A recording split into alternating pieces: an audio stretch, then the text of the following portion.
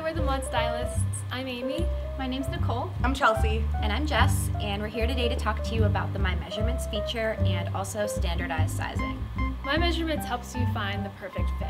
It also helps you decide what style of garment will best fit your unique body shape. This feature also allows you to share as much or as little information with the mod community. It also allows you to keep your information private um, and just you can use it for your own reference while shopping on the site.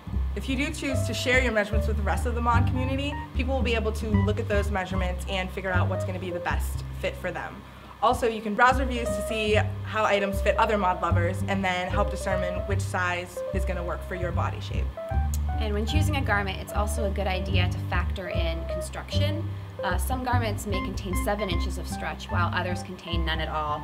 So uh, think about items that you own that you love and how they're constructed.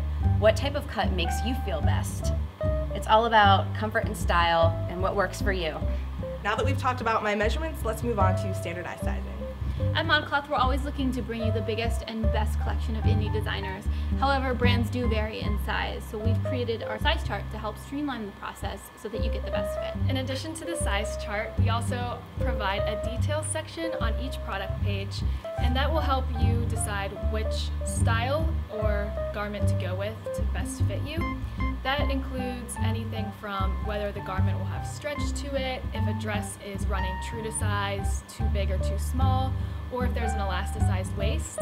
And it's all about your comfort level, so if you happen to be in between sizes, you could either order up or down a size depending on how you want the garment to fit. Also, it may be beneficial for you to look at an item's reviews. Um, our reviews feature allows for mod lovers to share their unique measurements with each other through reviews so that you get a better idea of what works best for you. Since a lot of our vintage items tend to um, come without labels or have outdated sizing information, we will still provide measurements for hip, bust, and waist for all of our one-of-a-kind garments. Remember, you can always give us a call or chat in if you have any other questions about composition, fit, or style. Happy, Happy shopping! shopping.